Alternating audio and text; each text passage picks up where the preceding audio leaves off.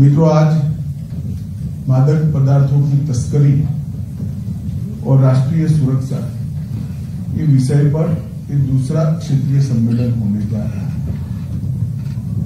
इसके पहले चंडीगढ़ में एक सम्मेलन हुआ था, जिसमें कश्मीर से लेकर दिल्ली तक के सभी उत्तरी हिस्से के राज्यों को समाहित कर कर एक समान स्ट्रेटेजी के तहत ड्रग के खिलाफ एक लड़ाई लड़ने का निर्णय किया गया था और आज नॉर्थ ईस्ट के सभी राज्यों को एकत्रित यहाँ पर आकर ये लड़ाई को और गति देने का हम प्रयास कर रहे हैं। अफ़गानिस्तान और म्यांमार, ये दोनों पूरे देश में और दुनिया में ड्रग पहुँचाने के प्रमुख क्षेत्र हैं। जब अफ़गानिस्तान या म्यांमार से ड्रग्स आते हैं तो स्वाभाविक रूप से देश के उत्तरी हिस्से को और देश के उत्तर पूर्व के क्षेत्र को वो सबसे ज़्यादा प्रभावित करते हैं। क्योंकि देश में और देश के माध्यम से विदेश में जाने के लिए यही एक रास्ता होता है जहाँ से एंट्री होती है। तो ड्रग के खिलाफ लड़ाई इसके एंट्री पॉइंट पर ही ढंग से लड़ा जाए, इस दृष्टि से ये दोनों क्षेत्रीय सम्मेलनों को सोचा गया था और भारत सरकार के गृह मंत्रालय ने ये दोनों सम्मेलनों का, को आहूत करने का निर्णय किया आज शुरुआत में ही आपने देखा लगभग चालीस हज़ार किलो, चालीस हज़ार किलो किलो का ड्रग जिसकी मूल्य सैकड़ों करोड़ों में होता है, वो तो चालीस हज़ार करोड़, चालीस हज़ार के जी ड्रग को हमने यहाँ पर जलाने का ऑनलाइन कार्यक्रम किया है।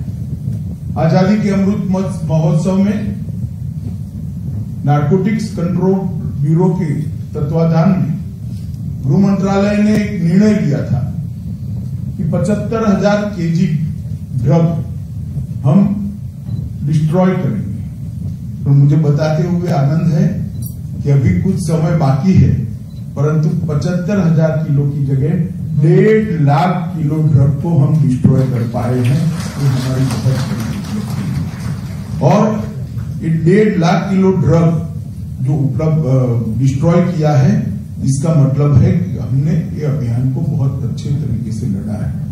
मित्रों, आज जब मैं यहाँ पर आया हूँ, तब देश के सम्मान्य प्रधानमंत्री श्रीमान नरेंद्र मोदी जी ने आज़ादी के अमृत महोत्सव के वर्ष में हमें एक लक्ष्य दिया है drug free India drug free India के लक्ष्य को प्राप्त करने के लिए सभी राज्य और केंद्र सरकार की संबंधित एजेंसी और भारत सरकार का गृह विभाग और केंद्र सरकार के राजस्व विभाग, स्वास्थ्य विभाग और समाज कल्याण विभाग, ये सब मिलकर एक साझा रणनीति के तहत काम नहीं करते हैं तो ड्रग फ्री इंडिया का स्वप्न हमारा साकार नहीं हो सकता है। और मैं मानता हूँ हम सब की एक ज़िम्मेदारी है कि आज़ादी के अमृत महोत्सव के वर्ष में हम संकल्प ले कि हम ड्रग को रोकेंगे और मोदी जी के ड्रग फ्री इंडिया के लक्ष्य को अचीव करेंगे। मित्रों ड्रग अगर देश के अंदर हम पूर्णतया रोक लेते हैं तो इसके साथ साथ डर्टी मनी को भी रोक। डर्टी मनी जब रुकता है तो अनेक प्रकार की देश विरोधी प्रवृत्तियों पर भी एक रोक लगने का काम है। देश की सुरक्षा और ड्रग के कारोबार को आज हम अनेक केसों का विश्लेषण कर कर कह सकते हैं कि ये दोनों के बीच में अब कोई अंतर नहीं रह गया कहीं न कहीं देश के अंदर इंसर्जेंसी को बढ़ावा देने वाले लोग आतंकवाद को पानी डालने वाले लोग और हथियारों की तस्करी करने वाले लोगों का संबंध ड्रग की तस्करी के साथ सीधा आता है। और वहीं से हमने समझ लेना चाहिए कि जब तक हम ड्रग फ्री इंडिया नहीं कर सकते, सुरक्षित भारत की कल्पना भी अपने आप में काल्पनिक कल्पना है। तो ड्रग फ्री इंडिया और सुरक्षित भारत एक ही सिक्के के दो पहलू। मित्रों, मैं आप सभी लोगों का ध्यान 2019 में एक सर्वेक्षण हुआ था, इस पर भी दिलाना चाहता हूँ। हम एक ऐसे जोन के अंदर पहुँच गए हैं कि हमें बहुत सावधानी के साथ आने वाले दिनों में संयुक्त एफर्ट्स के साथ इस बीमारी के खिलाफ लड़ना पड़ेगा। दुनिया में कई सारे ऐसे देश कई सारे ऐसे देश अस्तित्व में हैं जहाँ आबादी का 40 प्रतिशत हिस्सा चपेट में आता है। कुछ एनजीओ मुझे कहते हैं, ड्रग का व्यापार करने वाले या ड्रग का बड़ी मात्रा में आदतन सेवन करने वाले लोगों को जेल करना ठीक नहीं और वो उदाहरण देते हैं कुछ देशों का। मैं उनको बड़ी विनम्रता के साथ कहना चाहता हूँ, उन देशों ने ये जो सुधार करना पड़ा है, जिसको आप सुधार कहते हैं, वो कंपल्सन में करना पड़ा है, क्योंकि मात्रा ही इतनी बड़ी है कि आधा देश ही जेल बन जाएगा। तो जेल में नहीं रख सकते। भारत सरकार का ये अप्रोच बहुत स्पष्ट है कि ड्रग का जो सेवन करता है, वो विक्टिम है, और ड्रग का जो व्यापार करते हैं ड्रग की तस्करी करते हैं, वो गुनेगार है। और दोनों के प्रति हमारा अलग अप्रोच जो इसका व्यापार करते हैं, जो इसकी तस्करी करते हैं, इसके प्रति निष्ठुर व्यवहार और कठोर कानूनी कार्यवाही का गृह विभाग समर्थक और जो विक्टिम है, जो मादक द्रव्यों का सेवन करते हैं, उनके प्रति समाज कल्याण विभाग, आरोग्य विभाग सबका उपयोग करते हुए वापिस उसको मेन स्ट्रीम में लाना, अपने जीवन में पुनः प्रस्तापित करने का हमने लक्ष्य रखा है। मित्रों, आज मैं आपको इतना ही कहना चाहता हूँ कि हमने इस बात को बहुत गंभीरता के साथ लिया नार्को के खिलाफ लड़ाई के लिए 2019 में, गृह विभाग में एनकोड को बेहतर सामंजस्य के साथ नीचे तक पहुँचाने के लिए चार स्तरीय बनाने का निर्णय और ये मिकेनिज्म को चार स्तरीय बनाने का पर्पज ही ये है कि समूल ड्रग के व्याधि जो है, उसको समूल नष्ट शीर्ष स्तरीय एनकोड समिति बनी है। एक कार्यकारी स्तरीय एनकोड समिति बनी है। एक राज्य स्तरीय एनकोड समिति है जो मुख्य सचिव की अध्यक्षता में होगी और जिला स्तरीय एनकोड समिति है जो जिला अधिकारी की अध्यक्षता में होगी। हमने एनकोड की बैठकों को अभिवृद्ध हमारे डायरेक्टर एनसीबी ने दिया। कई राज्यों ने उसकी मीटिंग ही नहीं अगर राज्य स्तर की ही मीटिंग नहीं हुई तो जिला स्तर की मीटिंग का क्या हिसाब किताब कुछ मेरा सभी मुख्यमंत्रियों से आग्रह है कि आज की मीटिंग समाप्त होने के बाद, दीपावली के तुरंत बाद, आप ही एक विशेष मीटिंग बुलाकर राज्य स्तरीय एनकोड समिति की चेयरमैनशिप मतलब आपकी अध्यक्षता में करिए, तभी जाकर ये गंभीरता से ज़िले तक पहुंचेगा। और सभी मुख्य सचिवों को आग्रह डीजीपी को आग्रह ये सिर्फ़ पुलिस का विषय नहीं। एनकोड की, जिला की मीटिंग कराने की ज़िम्मेदारी मुख्य सचिवों को भी। ये तंत्र को जब तक नीचे तक परकोलेट नहीं करेंगे, इस दूषण को हम समाप्त नहीं कर पाए बहुत सोच समझ कर बहुत सारे क्षेत्रीय इस प्रश्न के बहुत सारे अभ्यासु लोगों से चर्चा करने के बाद एनकोड को चार स्तरीय बना और इन्वेस्टिगेशन को भी टॉप टू बॉटम और बॉटम टू टॉप अप्रोच से करना। मान लीजिए किसी स्कूल के बाहर ड्रग का खुदरा व्यापार करने वाली एक पान की दुकान पर ड्रग पकड़ी जाती है तो उसको छोटा केस मत मानिए। इन्वेस्टिगेशन का अप्रोच है वो ड्रग कहाँ से लेकर आया, वहाँ से लेकर देश में ड्रग कहाँ से एंटर हुई, तब तक का इन्वेस्टिगेशन तो बॉटम टू टॉप इन्वेस्टिगेशन जाना, और मानो ड्रग सीजर मणिपुर में होता है तो वहीं से वो काम समाप्त नहीं होता है। चाहे कश्मीर से या पंजाब से होता है तो वहीं से काम समाप्त। वो देश के किस हिस्से में जाना था और अंतिम उसका डीलर कौन था, खुदरा डीलर कौन था, वहाँ तक जब तक नहीं पहुँचते हैं, हम इन्वेस्टिगेशन को समाप्त न माने। सीजर हमारा लक्ष्य नहीं मगर सीजर करे बगैर हमारा आंदोलन भी नहीं चलेगा सीजर एक मुकाम है। है, एक स्टेज हमारा लक्ष्य है एंट्री से लेकर उपभोग मतलब उसका उपयोग करने वाले तक पूरी इसकी चैनल को नष्ट करना निस्त नाबूद। ये पूरे ड्रग के साम्राज्य को तभी समाप्त कर सकते हैं जब हम देश में एंटर होता है तब से। जो ड्रग का आदती बन गया है, वो विक्टिम तक पहुँचे, तब तक की पूरी चैनल पर हम स्ट्राइक डाउन करें। तो मेरा सभी मुख्यमंत्रियों को आग्रह है कि जब आप राज्य स्तरीय एनकोड समिति की मीटिंग करें, तब आपके यहाँ जो इन्वेस्टिगेशन होता है, उसको कॉस्मेटिक इन्वेस्टिगेशन की तरह, उसको सैंपल इन्वेस्टिगेशन की तरह थॉरली इन्वेस्टिगेशन में कन्वर्ट करिए top to bottom and bottom to top ये अप्रोच के साथ उसको आगे ले जाइए। भाई और बहनों, मैं थोड़े आंकड़े उत्साहवर्धक है। वो आपको बताना चाहता हूँ। 2006 से 2013 एक कालखंड और 2014 से 2022 दूसरा कालखंड। मैं तुलनात्मक अभ्यास इसलिए कहता हूँ कि उस वक्त सरकारें भी बदली है अप्रोच भी बदला है और दोनों समान कालखंड है। 2006 से 13 में कुल मामले बारह हुए और 14 से 22 में तीन हज़ार एक सौ बहत्तर एक सौ बाईस प्रतिशत की वृद्धि। कुल अरेस्ट पहले के कालखंड में तेरह हुए और 14 से 22 में चार हज़ार आठ सौ अठासी हुए। दो सौ साठ प्रतिशत की वृद्धि है। सीज ड्रग पहले डेढ़ लाख किलो किया गया। उसी समय के अंदर सीज ड्रग तीन लाख तैतीस तीस हज़ार किलो किया गया। लगभग दुगने से भी ज़्यादा गया। और मूल्य का सवाल है पहले मूल्य खैर अलग होता था, परंतु सात सौ अड़सठ करोड़ का मूल्य होता था। और अब क्योंकि जो सीजर हुई है, वो क्वालिटी ड्रग्स की हुई है, महँगी ड्रग को पर भी बहुत हमने स्ट्राइक किया इसके कारण सात से बढ़कर बीस हज़ार करोड़ रुपए का ड्रग्स सीज करने का काम हुआ है। यही बताता है कि हमारी लड़ाई को सफलता मिल। हमारा लड़ने का रास्ता सही है।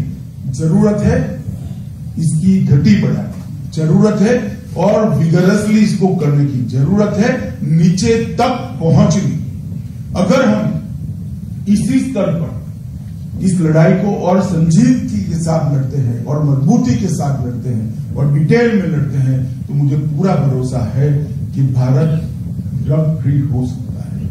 हमारे आसपास दो पड़ोसी ड्रग के बहुत बड़े उत्पादक और निकासकर्ता होने के बावजूद भी हम इससे बच सकते हैं। मित्रों, आज जो क्षेत्रीय सम्मेलन बुलाया है, उसका हमारा अप्रोच है कि एक समान रणनीति के साथ नॉर्थ ईस्ट के आठों राज्य ड्रग के खिलाफ लड़े एक समान रणनीति के साथ तभी लड़ सकते हैं जब पड़ोसी राज्यों के बीच एक्सचेंज की मीटिंग और इसकी ज़िम्मेदारी डीजीपी की आसाम और मेघालय के पड़ोसी जिलों को जब तक मीटिंग नहीं हो तब तक ये तंत्र अच्छा काम नहीं करता। आसाम और अरुणाचल के नेबर जिलों की मीटिंग नहीं होगी ये तंत्र अच्छा काम नहीं कर पाएगा आसाम और मेघालय के नेबर जिलों की मीटिंग नहीं होगी तब तक ये काम अच्छा नहीं हो पाएगा हमारी ज़िम्मेदारी है एक स्थायी मैकेनिज्म बनाए,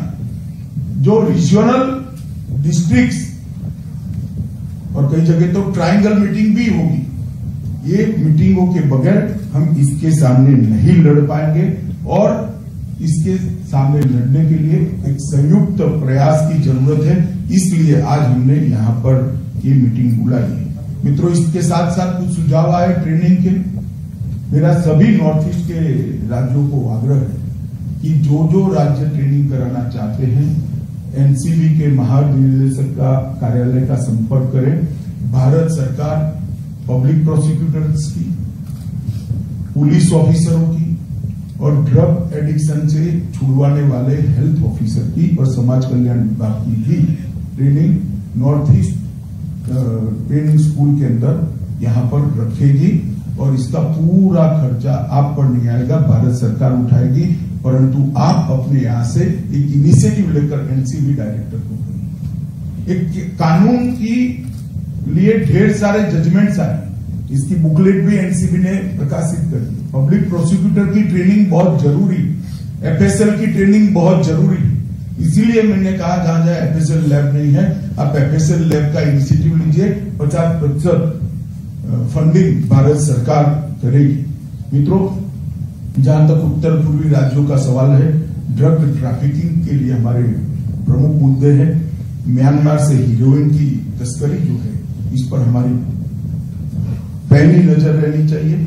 और म्यांमार से मैथ की समुद्री तस्करी पर भी हमारी पैनी नज़र जब कोई पकड़ा जाता है, तब सिर्फ़ हम जमीनी मार्ग की पूछताछ न करें।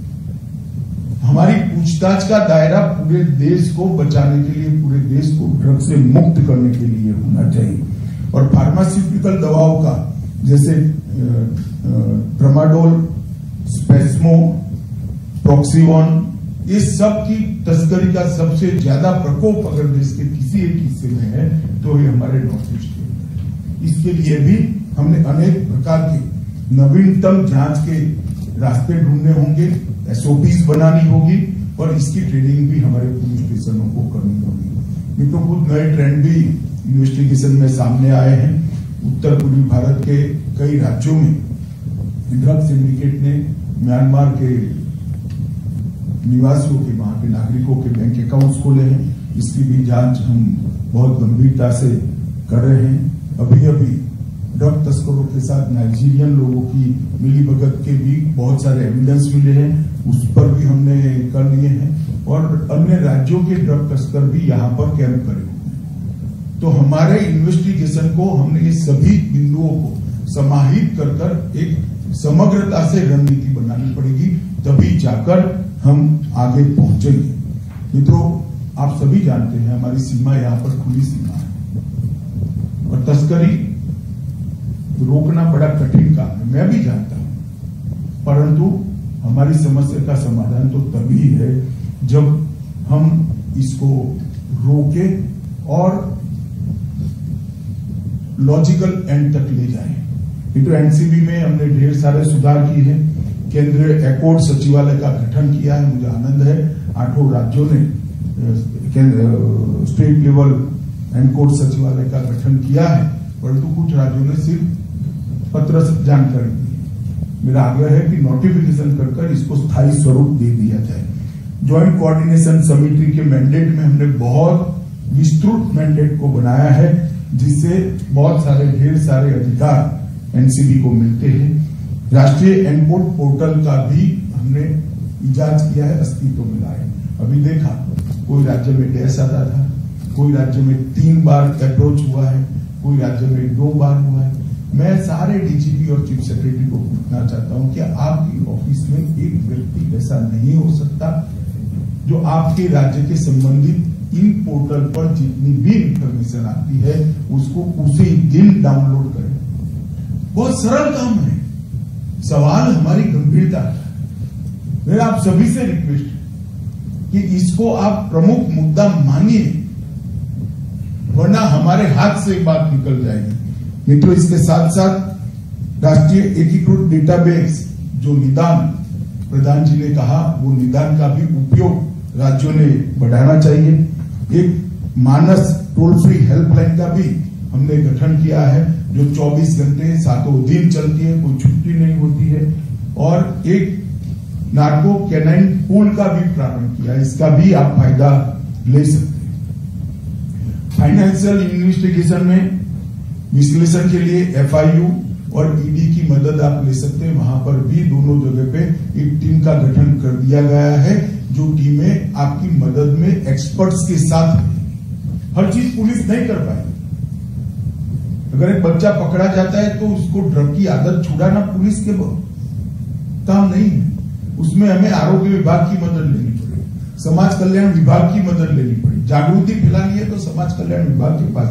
और अगर फाइनेंशियल इन्वेस्टिगेशन है तो एफआई और ईडी का हमने संपर्क करना पड़ेगा वहाँ से मदद लेनी पड़ेगी। नशीली दवाओं का स्रोत और उनका गंतव्य स्थान पूरा ड्रग नेटवर्क चार्ट एनसीबी तैयार कर रही है।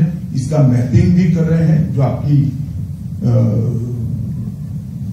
मदद में बहुत थोड़े समय में उपलब्ध हो जाएगा। हमने दो सौ बहत्तर जिलों को एक सर्वे के आधार पर इसमें से अस्सी हज़ार गाँवों को इंगित कर लिया है पॉइंट आउट किया है कि जहाँ पर हमने कठोर कार्यवाही सोशल जस्टिस वेलफेयर डिपार्टमेंट ने भी वो गाँवों के अंदर अपना पेनिट्रेशन बढ़ाना है हेल्थ डिपार्टमेंट ने भी बढ़ाना है। और लगभग लगभग प्रशिक्षण के पाँच अलग अलग मॉड्यूल भी हमने तैयार कर एनसीबी की स्ट्रेंथ को भी हम बढ़ाने जा रहे हैं। एक special laboratory national forensic science university के अंदर प्रस्तावित की है, जहाँ हरेक प्रकार के ड्रग का इमीजिएटली परीक्षण हो सकता है और अगर उसमें कोई चलावे के लिए बदलाव भी करता है तो उसका भी डिटेल स्टडी और आर एन डी वहाँ पर हो रहा है। मित्रों एनसीबी के लिए एनसीबी ने गुवाहाटी में अपना क्षेत्रीय कार्यालय बना दिया है। चार राज्यों में, असम, मणिपुर, अरुणाचल और त्रिपुरा में ये कार्य करेगा और वो चारे राज्यों को आशिष्ट करने के साथ साथ ज्वाइंट इन्वेस्टिगेशन के लिए भी आगे जाएगा। गांजा और अफीम अफीम पोस्ट की जो अवैध खेती है, मणिपुर में उसने बहुत प्रशंसनीय काम किया है। मैं मणिपुर के मुख्यमंत्री को अभिनंदन भी देना चाहता हूँ, मगर इसमें टेक्निक का उपयोग करना इतने दुर्गम क्षेत्रों में पुलिस जाकर ढूंढेंगी रेवेन्यू के ऑफिसर जाकर ढूंढेंगे। अगर हम अब पूरे राज्य का ड्रोन से मैपिंग हो रहा है सैटेलाइट से मैपिंग हो रहा है, कि हम ड्रोन की टेक्नोलॉजी को अच्छे तरीके से उपयोग कर अफीम की खेती को आर्टिफिशियल इंटेलिजेंस का उपयोग कर आइडेंटिफाई कर सकते हैं क्या? ज़रूर कर सकते हैं। अभी नेसेट की मीटिंग है, उसमें ये भी एक विषय है। इसके बाद ही परंतु हमने इनिशिएटिव लेना। जब तक राज्य, मुख्यमंत्री जी, मुख्य सचिव और डीजीपी इनिशिएटिव लेकर इसको ओन नहीं करेंगे, ये विषय नीचे तक नहीं जाएगा। मित्रों, ढेर सारी चीज़ें हमने इनिशिएट की है। उत्तर पुलिस के आधुनिकरण के लिए भी बहुत कम समय में हम एक योजना लेकर आए हैं, लाएँगे। सौ नशीली दवाओं की तस्करी की पहचान के लेने के लिए एक लिस्ट बनाने का मेरा सभी है। आप तस्करों की पहचान करिए, एक लिस्ट बना और कानून प्रवर्तन एजेंसियों का एक काम है कि ये सौ लोग हमेशा आपकी वॉच में रहे हैं और इस सौ लोग पर कानून का सिकंजा कसा जाए। जब तक ये हम नहीं करेंगे, इसमें से मुक्ति लगभग लगभग संभव नहीं है। मित्रों, आज मैं जहाँ, जब यहाँ आया हूँ, तब मैं आप लोगों को इतना ही कहना चाहता हूँ। ये लड़ाई राज्य और केंद्र दोनों ने मिलकर लड़ी। न केंद्र की लड़ाई है, न राज्य की लड़ाई है, ये देश की लड़ाई है। हमारी पीढ़िया को बर्बाद करना चाहता है। हमारा दूर हमारे भला न सोचने वाले तस्कर इस देश के युवा धन को खोखला करना चाहता है। क्या देंगे हम देश को पचास साल के बाद?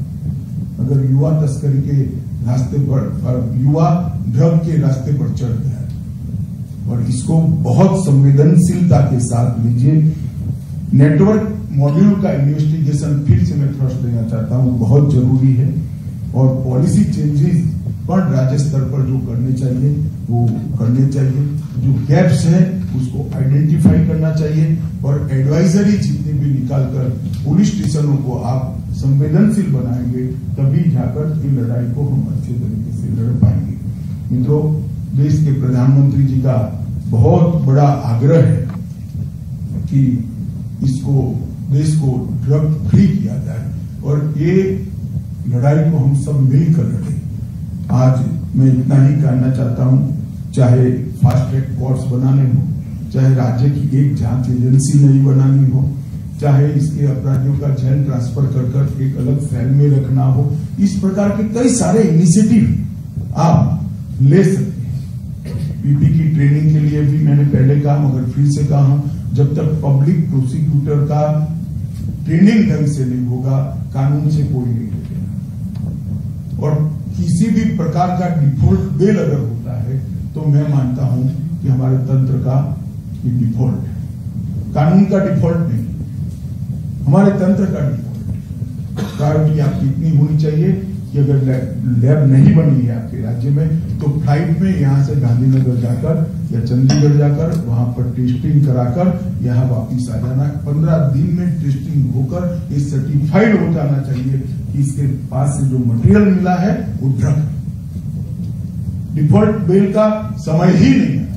इस जनून के साथ, इस गति के साथ लड़ाई को हमने लड़ना है।